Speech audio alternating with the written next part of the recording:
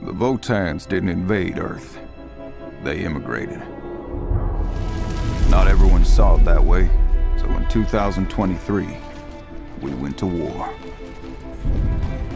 Seven long years of hell on Earth. Then, it got worse.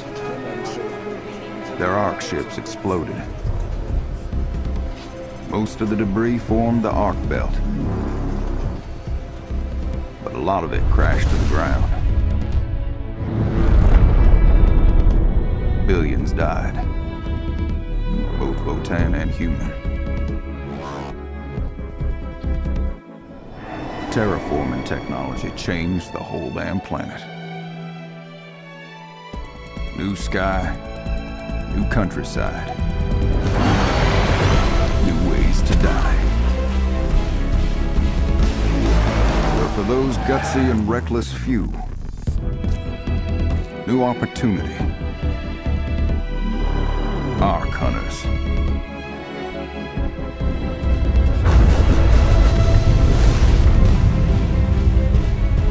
They hazard the waste, chasing Ark falls, all to get their hands on Ark technology.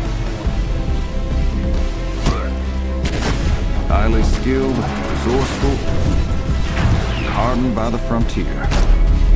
They can be tough to wrangle. And I think Ark hunters are exactly what this world needs.